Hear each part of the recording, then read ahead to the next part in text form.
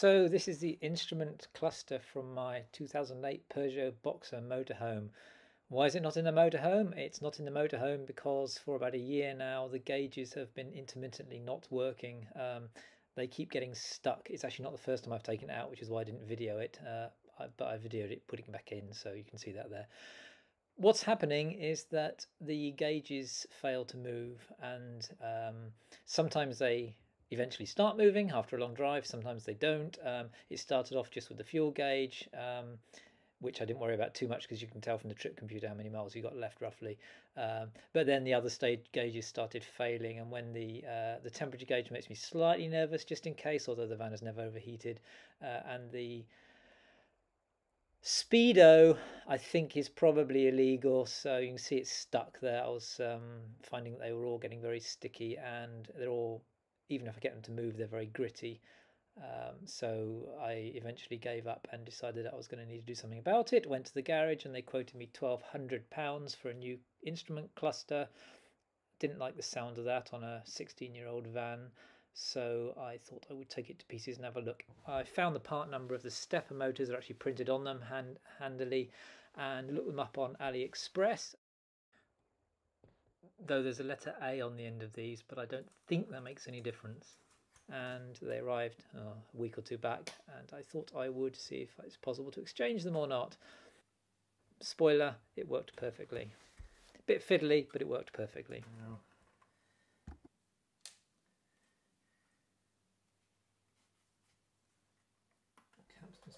There's almost certainly a tool for doing that, and I almost certainly do not have it. I hate little bits of finicky plastic. The pointers are a push fit onto a smooth shaft on the motor, um, but they are quite tight. There is a lug on the back of the pointer, um, so you can get them off, but it takes a bit of persuasion and you need to hold them very tight, otherwise they might snap in half. Although I did notice you can buy them on eBay.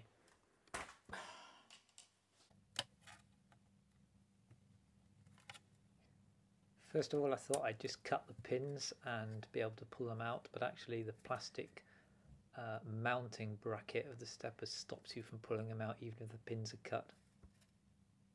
Ah, I see, okay. it's not quite as easy as that because the plastic part is still going through the pins. So cutting the pins there isn't helping. For the other three, I figured out exactly how to do it, uh, and you'll see that in a minute. This is not the way to do it. Uh, the way to do it is to Dremel off both the plastic and the pins and then push the pins through from the front. Uh, doing it this way, I actually managed to uh, pull one of the tracks off the board because if you try and push them through from the back to the front, you're more than likely to push the solder and the track uh, or push the track rather off the board with the, any remaining solder that's on the pin. So that was not a good idea, even if it's even if it's not with a hot soldering iron. So this this first one was a bit of a learning experience, and I and I had to repair one of the tracks afterwards.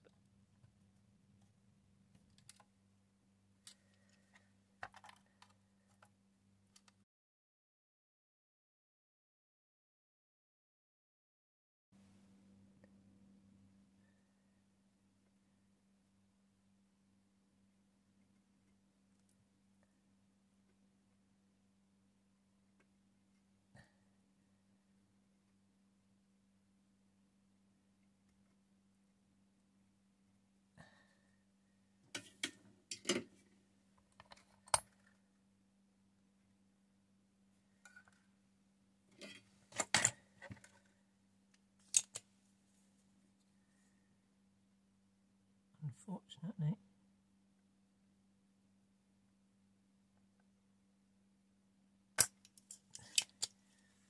I've managed to dislodge one of the uh, one of the pins has pulled the track off with it, but fortunately it actually just runs along to another through hole connection so I can just can just bridge that with a piece of wire, that's no problem. Now, so from China, AliExpress, we have hopefully a replacement part. Well, it pops through the hole nicely, very good.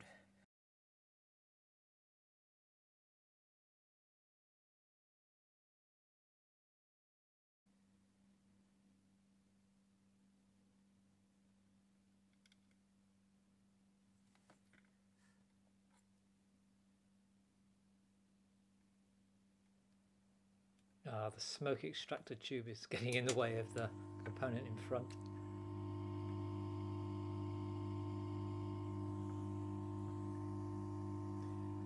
The bit of video when I went searching for some enameled wire to make up the broken track has gone missing somewhere, but anyway, uh, that's what I did.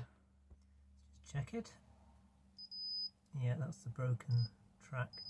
Just put a a jumper across there with a piece of enamelled wire that I had lying around. Uh, let's check the other connections. Right, that one there should go to there. Yeah, looks like it should go there. I'm just following the tracks here. That one there. Excellent. Yeah, conveniently there's through holes. I can check those connections. So that is that stepper, which I've just realised, unfortunately, is the temperature gauge, uh, which is the only one that I can't easily check uh, without waiting for ages. My uh, plan was to do the fuel gauge first, okay. so I could very quickly check it on the van, but um, I got the wrong one because it was upside down, of course. So at this point, I was trying to figure out how I can get the stepper motors off without risking damaging uh, any more of the tracks on the front of the circuit board and decided it was actually going to be easier to dremel the pins and then the piece of plastic holding the pins together off the back of the board um, and then I would have the pins completely free and I could push them through from the front uh, to avoid any possibility of dislodging the track on the front of the board. Uh, so that's what I ended up doing after a bit, bit of pondering. So that's what I did with the second one, but I forgot to record the dremeling bit. Uh, this was just cleaning up the holes, I believe.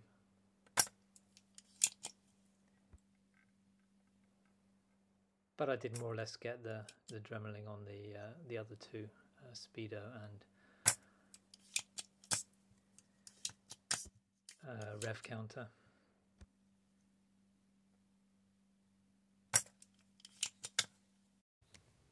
Okay, so I plugged it back in and connected the battery and we at least have uh, a clock, which is obviously wrong. So hopefully if I turn the ignition on, the left dial should move because I've got fuel in the tank. Okay, good. So that seems to work. Excellent. So the right kind of stepper motors. Replace the other two now and put it all back together. Okay, so having tested it and discovered that these are in fact the right stepper motors and they do work as expected, I'm going to make a an attempt to replace the last two, which is the uh, rev counter and the speedo. So I think that's what I'm going to do. These motors are awful. I mean, that that is as gritty. You can almost hear it. It's, it's really gritty inside. Um, and you can't get in them. They're never going to clean out. So.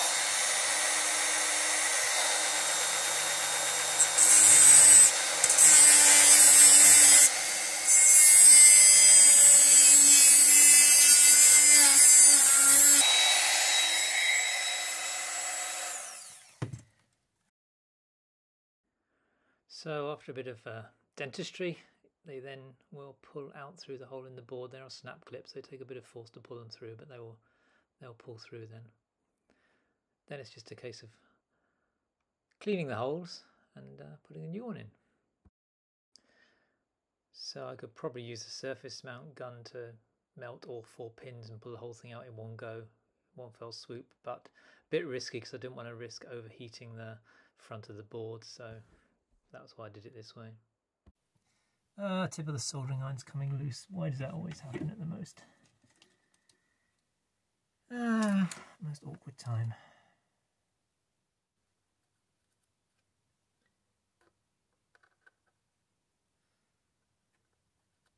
One. A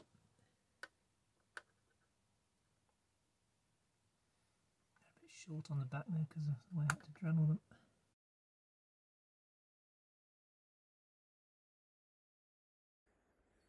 So this is where I figured it out. Push them through with the soldering iron and then there's enough space on the back to grab them. That's the way to do it.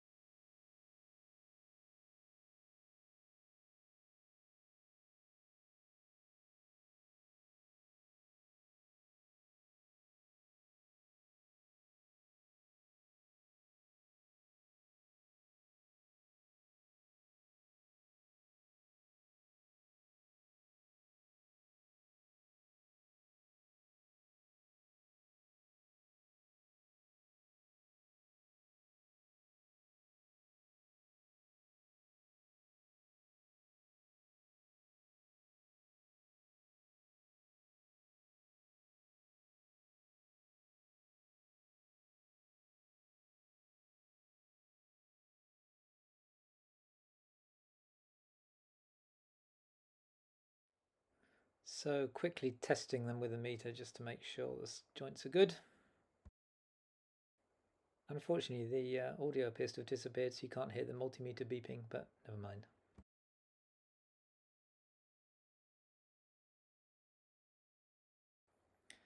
Uh, a bit more dremeling, I'll spare you that, and we can get the last one removed.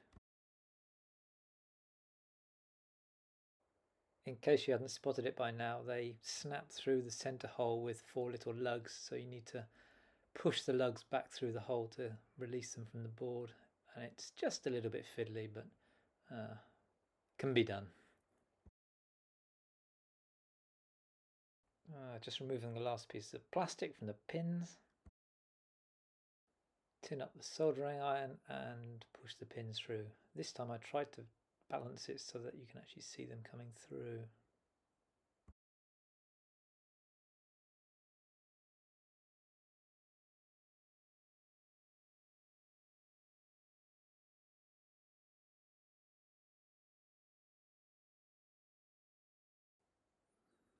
Carefully clamping it so that I don't need to hold it upright. Turn it around so that you can't see what's happening. Brilliant. I just hooked him out with a scalpel on this one, I think.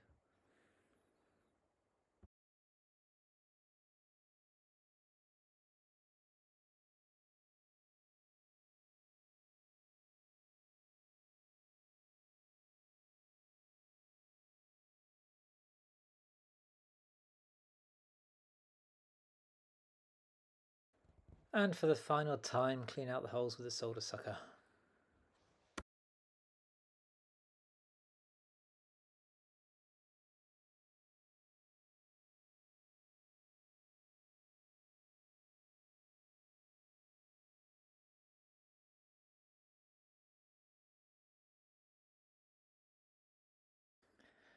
The last of my new shiny stepper motors and once again I failed to have it on camera in frame but it slipped through the hole.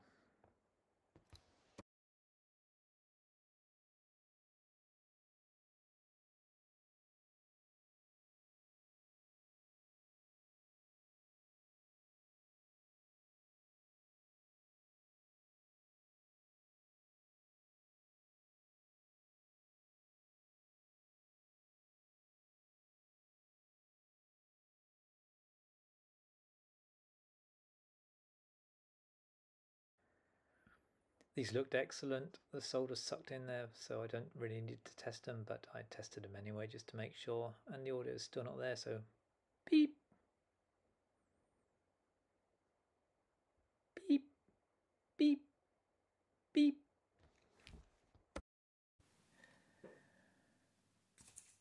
Right, uh, the final step. So that's all four steppers replaced. Flux off of the. Don't want it uh,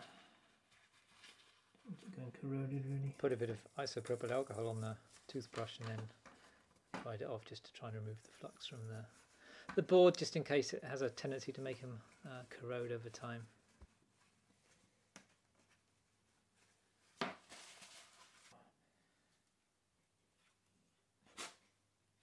Nope, it's a string metal in there. Right, now which way up does it go? Let's go that way up.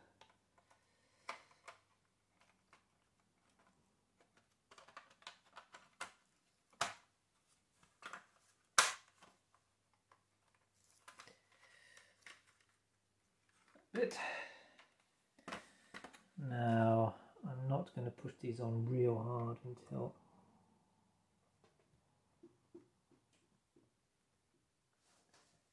Stanley, get out of the way. Stanley, get out of the way. Come on, Stanley, cat. Right, the end stop for that one should be there Just pushing it on lightly once I'm certain that they're in the right place on.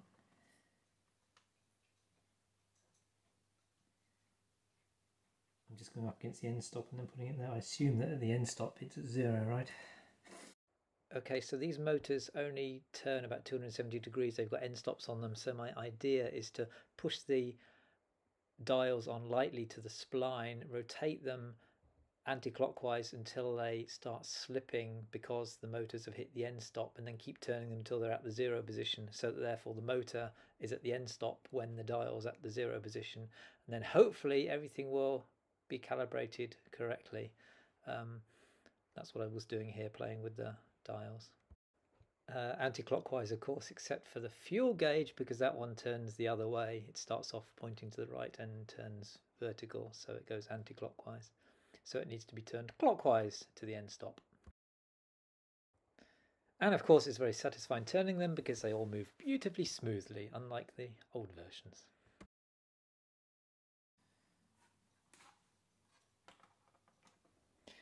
I realised at this point that I hadn't put the little plastic covers on, but then I also thought I would go and test it in the van to make sure that everything was okay. So in fact, I only lightly rested the back on and went down to the van and started it to make sure that everything was good before I finalised the assembly and put the snap clips back in place because they're a bit of a swine to take off.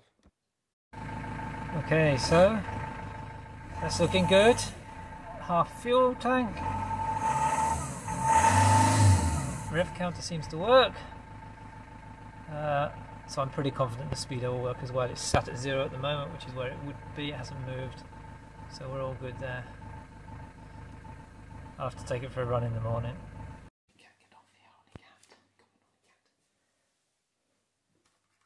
Okay, so the final bit, that onto there.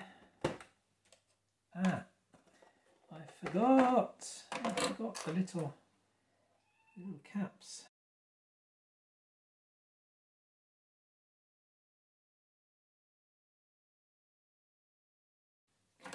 That's better. That's better. Goes onto there. Goes onto there. There we go. One binnacle back together. Let's go and stick it in the van. Okay, so here's the binnacle.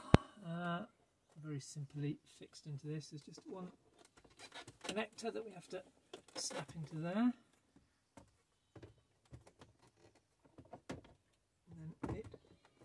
Simply drops into the hole, the pegs rest in the bottom, there we are, that's in the right place.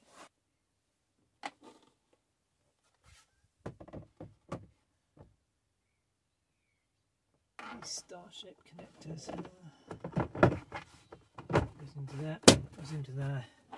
Yeah, there's two screws, one there, one there, and then two at the top. Uh, I'm not going to put them in for now because it's tempting fate until I've driven it around and check that all of those gauges are actually working. But I'll do that in the morning. Yay! So it's taken out for a run and everything seems to work. Speedo works as well, of course. Uh, engine warning lights come on. I think that came on when the battery connection slipped off. Because I don't like disconnecting or connecting the dashboard with the battery connected. Okay, so I plugged the diagnostic reader into the van to check that fault code and it turned out to be a P0603 intermittent fault. Uh, when I looked that up on the internet, it says it's the Keep Alive memory self-test failing. Uh, something to do with uh, uh, storing adaptive calculations that need to be kept alive or saved whilst the vehicle isn't operating. And looking at common problems that trigger the code, it says uh, lack of proper voltage to the keep alive memory connection on the PCM. Yeah, well, battery terminal falling off would do that. So my guess is uh, when the battery connection fell off, it uh, did something a bit stupid because I think it didn't fall off cleanly. It tapped on the negative terminal a few times and upset the computer. So I just reset that one, and uh, all seems well now. So I wondered what was actually wrong with these steppers that was causing them to jam up. Well, it turns out that you can pop the back plate off with a sharp knife and inside is a little bit of rust. You can just see it on the back edge there. And then inside the shell where the windings are. It's really hard to see. There is actually a little bit of rust. You can just see it there. Tiny bit of rust just just appearing on the inside there. I guess that's the trouble with a vehicle that sits around for many weeks without being used outdoors in West Wales where it rains and is very damp for much of the year. And the tolerance must be so tight on those that it doesn't take very much to bind them up. There we go. That was the problem with all my gauges on the van.